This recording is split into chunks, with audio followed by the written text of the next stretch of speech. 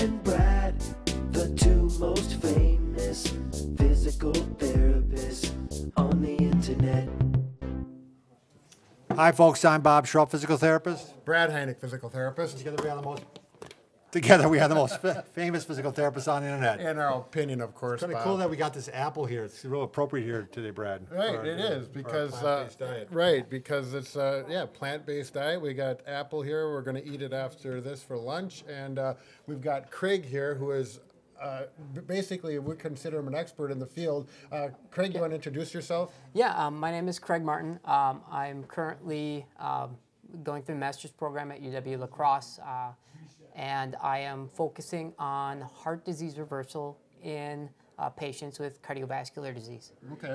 Um, And, and you were saying that th- the same principles also apply to diabetes, uh, type 2, ty- type 2 diabetes, and also arthritis, that some of these things would benefit that. That that is correct. Yeah, Yeah. Um, we're we're looking at a whole foods plant-based diet, which um, does not contain animal products. Um, no fish, no fowl, no turkey, um, no. Oh, you name it. You name the animal. If it has a face or a mother, don't eat it. um, and then we're also looking at removing refined oils such as olive oil, even extra, extra, extra virgin olive oil. Um, studies have shown that extra virgin olive oil does contain trans fat, and trans fats negatively impact cardiovascular health. Okay. So avoiding olive oils um, can reduce your risk of increasing LDL cholesterol level, which then leads to a heart attack. So we're talking pretty true plant-based. Yeah, very true plant-based. But I, I'm back. Um, I think we had this discussion before we went on air here is that, you know, we know that a lot of people will not be able to do this strict diet. But I think even movement in this direction, you know, and, and with towards some of these foods is going to help you, oh, you overall without a doubt. I mean, That- you know, Yeah, you're, you're definitely right. The more we can move to a, a whole foods plant based diet, the more it will help everyone. Right. Um, in, in all aspects of their life. Uh, the reason we preach um, a whole foods plant based diet without any of the added oils, without any of the animal products, is that some people, even a small amount, can adversely affect their health. Um, I personally experienced benefits. I used to have asthma. I had asthma for 30 years of my life, and when I started following a whole foods plant-based diet, my asthma disappeared. wow. And I noticed that when I have even a little bit of dairy, my asthma comes back, and so I avoid it. And I was able to go from, I, I completed a, a marathon. I almost qualified for Boston, Okay. uh, my first marathon ever in my life, and I could barely run before. I mean, I would I would be wheezing for days almost, uh, Sure. because my asthma would flare up. Wow. And just removing that dairy product, that was all it took. My asthma disappeared. So, what what about? Okay, I always hear about how good like salmon is because this is what I eat. I eat a lot of salmon and the omegas, and uh, so there's something negative about salmon too, or Well, what we have to realize is that when, when we eat food from the ocean, what is in the ocean? We have PCBs, we have mercury. These animals are like sponges. They soak up all that PCB and mercury. And there are warning labels on fish that say, you know, be careful of the mercury level in fish. And as we know, mercury adversely affects the brain. It helps. It, it adversely affects the immune system. Um, you know, our every system in the body. So, yes, while fish may have omega 3 fatty acids, we also have to realize that omega 3 fatty acids actually occur naturally in plants. They're not made in fish themselves. The fish eat smaller fish, which eat algae, and that's how they get their omega 3s. So it's through So- the system, the ecosystem. can you name Right. some other plants where it might be? In? I mean, are there, are Oh, there for plants that, omega-3? that, Um, that, that, that we would have access to? In, in Yeah, definitely. Um, so, flaxseed, for example, Oh, sure. contains a lot of omega 6. Um, chia seed contains a lot of omega I'm writing these down. I guess I can watch the video later too. Um, yeah, yeah. Um, you can you can get it from broccoli, kale, Okay. uh, spinach. Um, I eat spinach. there you go. There, we you go. go. Yeah. A lot Um, of spinach. Yeah, or cantaloupe, um, Ah. muskmelon. Uh, there's a lot of foods that have a lot of uh, high omega-3 uh, fatty acid content, even cauliflower. So Great. Okay. I'm, I'm, I'm on that. I'm on that route, Brad. Yeah. I, I So mean, getting back to the, the bigger picture of, of this diet or shifting, what Yeah. are some some some suggestions that you are going to make? You know, you want to make to Oh, sure. the viewers? Yeah. Um, so what we've found, or not what I've found, but what research has found is that um, when you cut these foods out, they're, the Institute of Medicine, which is one of the most prestigious bodies in the U.S., said that there's no safe level of cholesterol consumption to consume in the diet on a daily basis. There's zero. So anytime you consume an animal product, that's the only place cholesterol is found in the diet. So if you consume any animal, you're getting cholesterol. Uh, the Institute of Medicine also says that you should not be consuming trans fats. Trans fats are found in oils and animal products and partially in fully hydrogenated oils. Um, another thing that we're not supposed to get out is a lot of saturated fat. Those three components increase LDL cholesterol production in the liver. So avoiding those will essentially decrease that production. So where are major sources of, of um, saturated fats and trans fats? They're found in oils, animal products, um, coconut oil, palm oil, palm kernel oil, coconut milk, um, coconut cream. Which is interesting because it seems like they're really pushing coconut milk as a healthy alternative now. Right, Which yeah. I, I- I had never done any of the research on, so I had no idea. of the, I just saw it this morning. In fact, I'm like, now is coconut milk really good for you or not? I mean, you know, Yeah, and, and it's interesting because there's there's studies that show that it really has no effect. I, it- it's really not good for you. It raises LDL cholesterol levels. Most of the studies they compare it to butter, and they say, well, it's better than butter. Well, I mean that's like, I mean, sure, it's all relative. right? Yeah, I mean, come on. It's there was another study where they were pitting Hostess Twinkies against. Uh, Another Twinkie from Sure. an Angel Soft Twinkie or something Yeah. like that, and it's like you can't. So what? You know, that's a They're little. both the healthier. devil. They're both not good for Yeah. you. So Sure. I mean, there's there's a lot of studies out there that aren't necessarily great studies. Can, can you talk? I'm sure the one that maybe throws people off a little bit is that how diet can actually affect arthritis.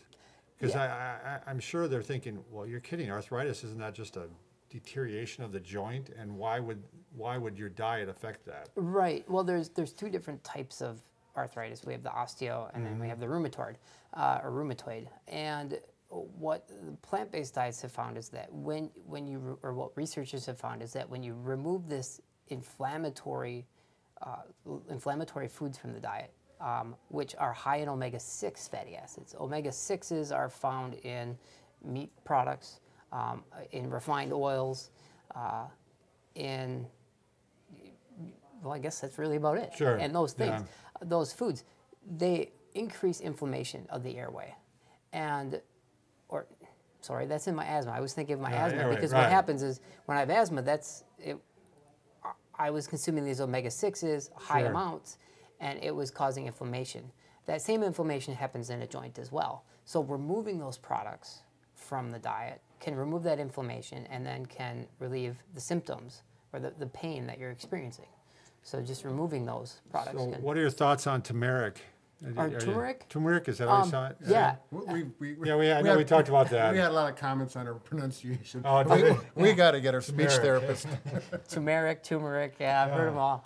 Um, it, it's interesting that that's a spice that actually has very positive, beneficial effects for the body. Um, some of the research I've read is actually that if you use turmeric with black pepper, you can actually get the benefits longer inside the body. So um, the the the liver wants to filter out the turmeric, but for some reason, and, and I don't know the exact science behind it, but black pepper with the turmeric doesn't allow the kidneys and the liver to filter out that turmeric, so Really? it So it stays in stays the in the body longer. longer. Yeah, so it gives you better beneficial effect over long I'm term. writing that one down So- too. And Now, now I, I know, I think other people are going to be thinking this because a big thing in the last few years is uh, eliminate the, uh, the, the fats and or the carbohydrates, and now you can eat meats with all the fats because there's certain fats that harbor a lot of good nutrients, vitamins, and stuff. And so this is kind of confusing me a little bit. So I'm, I'm sure I'm probably not the only one. Yeah. Um, so i- i- you're absolutely right. What's What's interesting, if you go back, um, i- i- 1930s. I don't know if you've ever heard of the name Walter Kempner. No. He was a researcher from Duke University, and what he did was he took patients who were dying of kidney disease. Um, they, I'm trying to think of, they had extremely high blood pressure. Um, what he did was he put them on an all white rice, fruit, fruit juice, and sugar diet. And some of these patients were able to regain their eyesight. Their heart size shrunk. They reversed their diabetes. They reversed their heart disease. Um, How is that possible? the diet consisted of about 5% fat, and the rest of it was pure carbohydrate. He had patients that lost weight that were three, 400 pounds, and they would be back to normal weight within You're a not matter suggesting of years. this though at all. I wouldn't suggest it. Yeah. Uh, I would suggest a variety of fruits and vegetables. I would suggest not white rice, but brown rice uh, or other types of rice. Um, but the diet just shows the miraculous power that diet has uh, in impacting the body. So the, the diet consisted of about 90, 90% carbohydrate, and these people were getting well. So to think that carbohydrate's the villain, it's actually it's not the carbohydrate. It's it's the food. The food is what carries the carbohydrate because carbohydrate isn't a food group. It's it fruits Sure. and vegetables are food groups. Carbohydrates are in those Sure, those sure. food groups. So, I, I mean, I, I cut out carbs in my diet. Basically, the carbs I was cutting out were like spaghetti, um, breads, and I mean, I dropped 10 pounds without trying. And, you know, so I mean, I'm seeing the other end. of it. It seemed like carbs were the culprit for me. Was it because of the vehicle that I was getting them in? I mean, was it the, It, the- it can be. Um, there is a, a great work by uh, Dr. John McDougall, who his his whole premise is a starch-based diet. Uh, because when you look back in time and you look back through the years, uh, individuals are consuming um, starches like rice, potatoes, beans, corn, uh, oatmeal. Um, populations all over the world uh, have found that when they follow a starch-based diet, they're trim, they're healthy, uh, they're not they're not sick, and we need to. In my Again, mind, this is blowing if, my mind. If if we move back to that, um, that that's a diet that I think we can all recognize as being uh, excellent for us. Thirty years ago, China was full of trim, young, healthy-looking people. Now that KFCs and McDonald's have gone over there, now people are becoming ill. Um, Right. so we have to look at, you know, the food as the major vehicle for causing disease. So I guess what I'd like to tell the viewers, if we're going to wrap this up here, um, is to. it- There's a great book by the name of Dr. Caldwell Esselstyn called "Prevent and Reverse Heart Disease." Could you pronounce c- Oh, pronounce yeah. that again? Yeah, uh, Caldwell Esselstyn. Caldwell Yeah. Esselstyn. And Oh, I'll wrote put it a- down. I'll put it down below. I'll actually put it on the screen. Okay. And on the, on the sure. Yeah, and his book is called "Prevent and Reverse Heart Disease." All right. Um, there's another website you can check out uh, by. It's run by Dr. Michael Greger. Okay. It's called nutritionfacts.org, and he provides little five-minute video clips and, and a blog every day on nutrition news Okay. that you can use. And he links all of his sources under there, so you can go through and you can read them. They're all peer-reviewed.